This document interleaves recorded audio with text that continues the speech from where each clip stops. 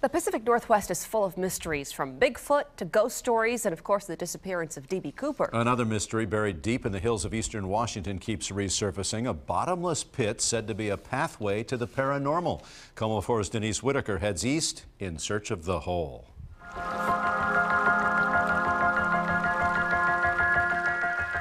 Ellensburg and its surrounding valleys and Manastash Ridge are beautiful in any season, but some believe what lies beneath is a deep, dark hole with supernatural powers. One of the only people alive ever known to have seen this mysterious hole took me as far as he could or would. Oh, honey, don't go up that damn driveway.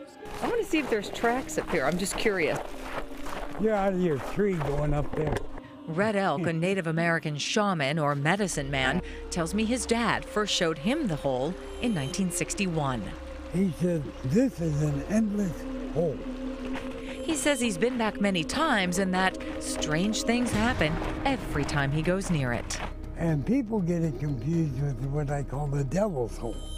Many locals claim to know about the hole, but it didn't really become a phenomenon until 1997 when Mel Waters went on the Coast to Coast radio show with Art Bell. As usual, I brought the dogs with me. Uh, they wouldn't go anywhere near the damn thing.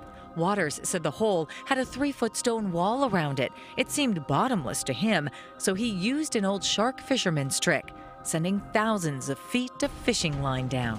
What I did is I sent down a roll of lifesavers. Lifesavers? Yeah, so when it hits the water, the, the lifesavers will dissolve. But the lifesavers came back up whole, no water. So, how deep was this hole? Waters said he believed it descended miles into the earth, and he says he's heard strange stories about its powers. The one guy claims that he threw his uh, departed canine down into the hole. He swear the dog actually came back to him.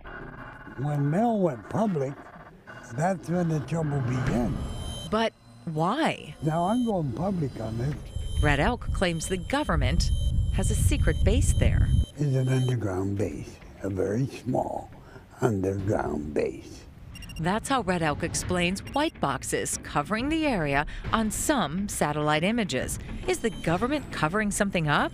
Red Elk says he's also witnessed alien activity at the hole. A huge spacecraft, one will appear and, and hover over the hole.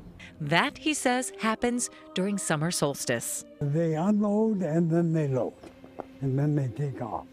God help the things that they load. Alien spacecraft? Dogs that come back to life? I went to the Northwest Museum of Legends and Lore seeking some answers. Well, I believe there is a hole.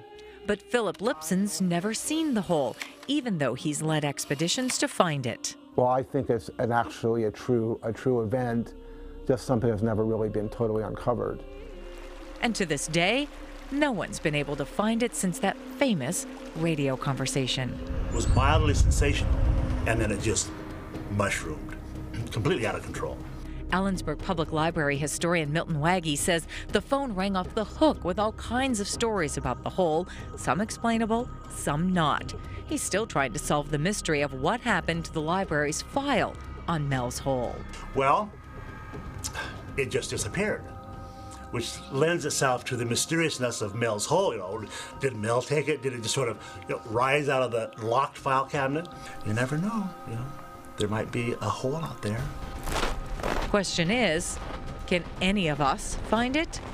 Denise Whitaker, KOMO 4 News.